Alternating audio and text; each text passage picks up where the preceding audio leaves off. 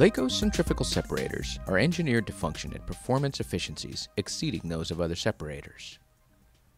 To prove the performance of their designs, LAKOS submits their separators to the International Center for Water Technology at Fresno State University in California for independent third party testing.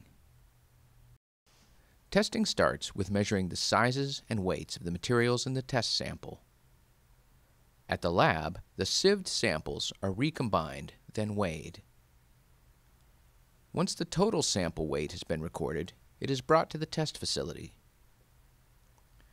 The testing process is straightforward, utilizing 20 micron disc filters to capture whatever solids pass through the separator. To start, water is run for a few minutes to ensure the system is free of solids. This water is filtered with a bank of 55 micron disc filters to ensure that the test water is not contaminated with solids from its source. Once the system is clear, the solids are slowly introduced into the inlet of the separator. After all the sample solids are introduced, the system runs for another minute to ensure that all the solids reach the separator.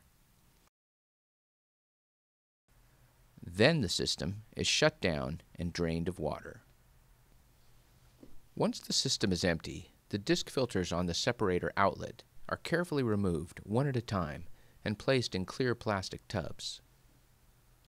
The filter housings are lightly rinsed to be sure that any stray sample solids that may have passed through the separator are captured in the tub.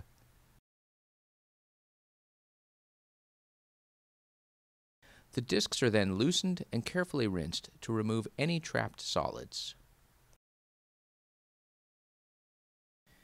After capturing all the solids, the tubs are poured into a 600 mesh sieve to capture all the sample solids that may have passed through the separator.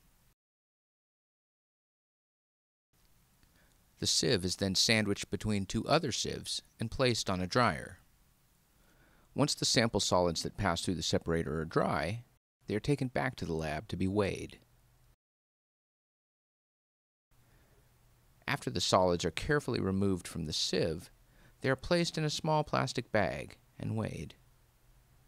That final weight, minus the weight of the bag, is then compared with the total weight of the sample that was introduced into the separator.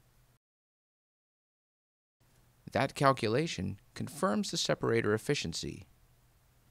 In this case, 140 grams were introduced into the separator and 1.3 grams of solids were recovered, producing an efficiency of 99.1%.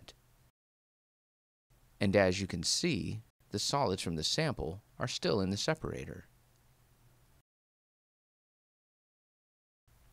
This testing procedure verifies that LAKOS separators do meet their stated efficiencies and will provide the filtration needed to protect your valuable equipment and systems.